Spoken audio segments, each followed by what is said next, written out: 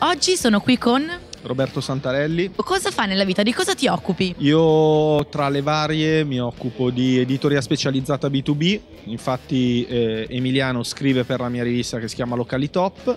Eh, abbiamo fondato oltre a questo l'associazione italiana Food and Beverage Manager, di cui Emiliano nel primo mandato è stato anche vicepresidente, vista l'onorevole carriera che aveva fatto in quel ruolo Attualmente, oltre a queste cose qui, ho anche un piccolo, una piccola enoteca in centro a Milano che infatti è il motivo principale per cui oggi sono qua. Perché hai deciso di partecipare a Risto Business? Perché io sono il primo a credere che eh, i locali pubblici esercizi si gestiscano con i numeri, con i dati con l'analisi, ma mi mancavano le skill, il know-how per capire come inserire questi dati, come chi lo doveva fare e poi anche che tipo di analisi farne. È stato utile il corso?